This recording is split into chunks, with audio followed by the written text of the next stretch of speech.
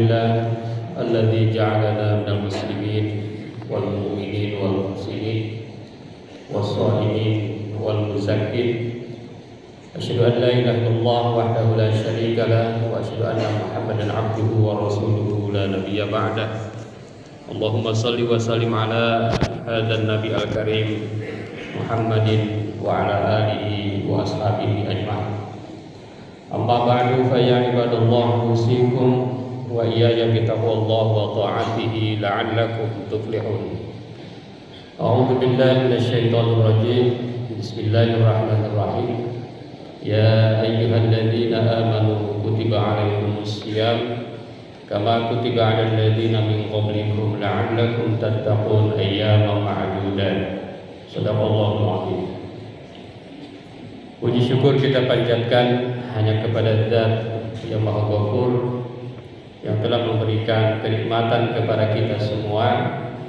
terutama nikmat yang sungguh luar biasa nikmat iman dan nikmat Islam. Salawat dan salam mudah-mudahan senantiasa tercurah kepada panutan kita Nabi besar Muhammad sallallahu alaihi wasallam.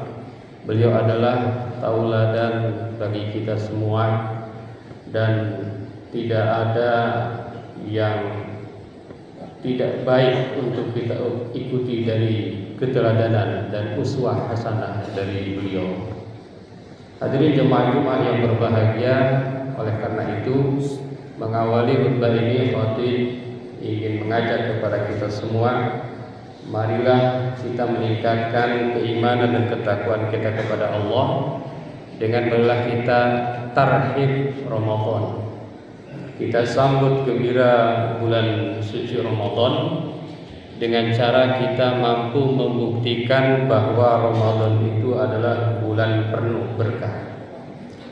Jangan sampai keberkahan Ramadan ini lewat begitu saja. Jangan sampai keberkahan Ramadan ini justru diambil oleh orang lain. Jangan sampai keberkahan Ramadan ini didapatkan oleh mereka-mereka justru yang tidak muslim. Misalnya para pedagang-pedagang, misalnya para bisnismen-bisnismen, mereka banyak sekali mendapatkan keberkahan daripada bulan suci Ramadan. Umat Islam jangan sampai kalah baik keberkahan-keberkahan yang sifatnya materi maupun keberkahan keberkahan yang lain. Hadirin jemaah Jumat yang berbahagia. Ada satu hadis yang sahih yang mengatakan bahwa qad ja'akum Ramadan syahrun mubarak. Telah datang Ramadan yang merupakan bulan penuh berkah. Yang merupakan bulan yang diberkahi oleh Allah Subhanahu wa taala. Apa itu berkah? Berkah adalah an-numu wa ziyadah, artinya adalah tumbuh dan tambah. Jadi di bulan Ramadan ini kita layaknya tumbuh, kita layaknya bertambah.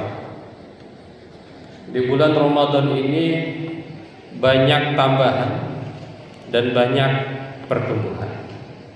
Hadirin jemaah Jumat yang berbahagia, menurut istilah syariah makna dari berkah itu adalah al-ziyadah al-ilahi fi syai' subutul ziyadah al-ilahi fi syai' yakni adanya tambah-tambah yang Allah ridhoi dalam sesuatu. Jadi misalnya kita punya harta, kemudian harta kita bertambah dan dengan bertambahnya harta itu kita banyak berinfak. Nah, itu namanya berkah. Jadi kalau hanya bertambah tetapi tidak banyak bertambah ketaatan kita, maka namanya bukan berkah. Jadi kalau ada seorang yang hartanya bertambah, yang jabatannya bertambah, yang kedudukannya bertambah tetapi ketaatan dan ketakwaannya tidak bertambah, maka itu bukan berkah. Hadirin jamaah Jumat yang berbahagia. Kenapa bulan Ramadan disebut dengan bulan berkah? Ada beberapa alasan dalam hadis yang tadi. Yang pertama adalah karena di bulan Ramadan ada ibadah puasa. Iftaradallahu siyamahu. Allah mewajibkan puasanya di bulan Ramadan. Jadi ini keunggulan dari bulan Ramadan maka puasa itu adalah ibadah yang di antara ibadah paling mulia, paling spesial, yaitu puasa satu bulan penuh selama bulan suci Ramadan. Yang kedua, pintu-pintu surga dibuka. Yang ketiga, pintu-pintu neraka ditutup, dikunci. Yang keempat, setan-setan Allah belenggu. Dan yang kelima, di dalamnya ada satu malam yang lebih baik dari seribu bulan. Jadi mengapa bulan Ramadan itu berkah? Karena ada lima alasan tadi. Oleh karena itu maka sebagai umat Islam seyogianya kita mampu membuktikan bahwa betul bulan Ramadan itu penuh dengan berkah. Bahwa bulan Ramadan itu surga-surga dibuka. Artinya apa? Selama bulan Ramadan amal-amal kita semakin bertambah. Selama bulan Ramadan infak kita semakin bertambah. Selama bulan Ramadan kita semakin banyak mendekatkan diri kepada Allah Subhanahu wa taala. Hadirin jamaah Jumat yang berbahagia. Pertanyaannya adalah bagaimana caranya agar kita mendapatkan berkah? Al-Qur'an menyebutkan ada dua hal. Yang pertama apa yang harus dilakukan dan yang kedua apa yang aku tinggalkan. Kalau kita ingin berkah selama bulan Ramadan, tentunya mungkin bukan hanya bulan Ramadan, bulan-bulan yang lainnya, apalagi bulan Ramadan, apa yang harus kita lakukan? Ada empat hal. Yang pertama berkaitan dengan Al-Quran. Di bulan Ramadan sebagai bulan Al-Quran kita harus banyak membaca Al-Quran. Kita harus banyak tadabur ayat-ayat Al-Quran. Kita harus banyak diskusi tentang Al-Quran. Kita harus banyak merenungkan tentang ayat-ayat Al-Quran. Kita harus berusaha mengamalkan ayat-ayat suci Al-Quran.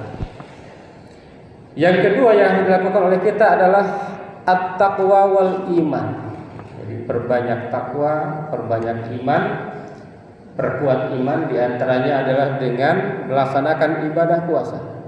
Ya ayyuhalladzina amanu kutiba alaikumus syiyam kama kutiba alal ladzina min qablikum la'allakum tattaqun agar kalian bertakwa. Jadi dengan ibadah puasa ini ada dua hal. Yang pertama pembuktian daripada iman, yang kedua adalah sebagai implementasi dari takwa. Kalau seorang mengaku bertakwa tetapi tidak mau berpuasa, maka takwanya itu hanyalah fata morgana, pura-pura bertakwa kepada Allah. Yang ketiga yang dilakukan adalah doa, banyak berdoa. Dan banyak di dalam Al-Qur'an ayat-ayat menganjurkan kita untuk berdoa di terutama di sepertiga malam terakhir. Sepertiga malam terakhir itu adalah doa-doa yang mustajab adalah di antara waktu yang mustajab ketika kita melaksanakan permintaan-permintaan kita, permohonan-permohonan kita kepada Allah.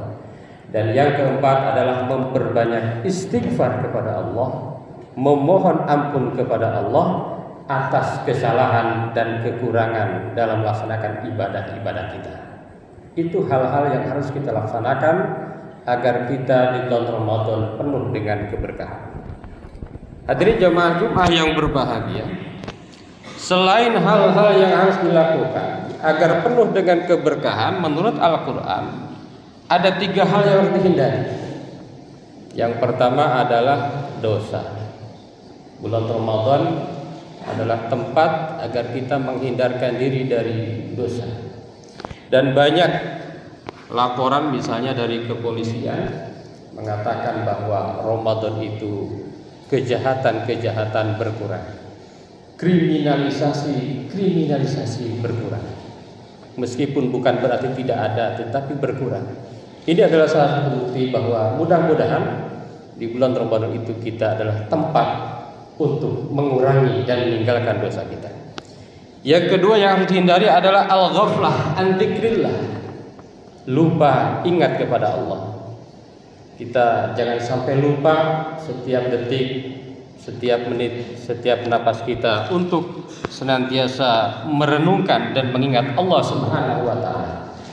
Dan yang ketiga yang dihindari adalah tidak bersyukur atas nikmat Allah Subhanahu wa taala. Apa itu bersyukur? Syukur adalah sarful 'abdi jami'a ma an'amallah ila ma khuliqa li menggunakan nikmat-nikmat Allah untuk mendekatkan diri kepada Allah. Menggunakan nikmat-nikmat Allah untuk kepentingan Allah memberikan nikmat kepada kita. Kita diberikan harta digunakan untuk infak. Digunakan untuk nafkah. Kita diberikan jabatan digunakan untuk memakmurkan rakyat dan lain sebagainya dan lain sebagainya. Hadirin jamaah Jumat yang berbahagia, mudah-mudahan bulan Ramadan kali ini menjadikan kita muslim yang mampu membuktikan bahwa bulan Ramadan itu adalah bulan penuh berkah Allah Subhanahu wa taala dengan melaksanakan apa-apa yang harus dilakukan dan meninggalkan apa saja yang harus ditinggalkan untuk mencapai keberkahan itu. Barakallahu li wa lakum fil Qur'anil azim wa nafa'na wa iyyakum bima fihi minal ayati wa dzikril hakim. Aqulu qouli hadza astaghfirullahal azim.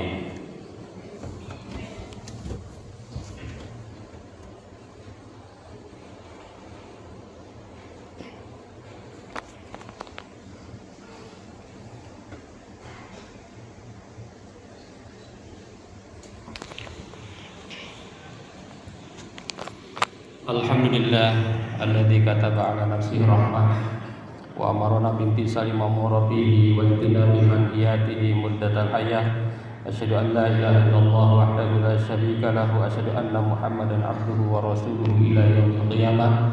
Allahumma salli wa nabi al-karim Muhammadin wa ala alihi wa ashabihi ajma'in أما بعد فيا أيها الناس اتقوا الله حق تقاته واعلموا أن الله تعالى قد وعد لمن اتقوا بدخول الجنة وتوعد لمن عصاه بدخول جهنم مأواه إن الله وملائكته يصلون على النبي يا أيها الذين آمنوا صلوا عليه وسلموا تسليما وارض اللهم عن جميع الصحابة والقربة لرسول الله أجمعين آمين يا الله يا رب العالمين اللهم اغفر للمؤمنين والمؤمنات والمسلمين والمسلمات الأحياء منهم والأموات اللهم أصلح ذات بينهم واجعل في قلوبهم الإيمان والحكمة ووزعهم على أهلك الذي أحدت إليهم واجعل منهم واتنا بدرة الإسلام بهدايتك ورحمتك الواسعة وتقبل دعاءنا إنك أنت السميع العليم عباد الله إن الله يأمر بالعدل والإحسان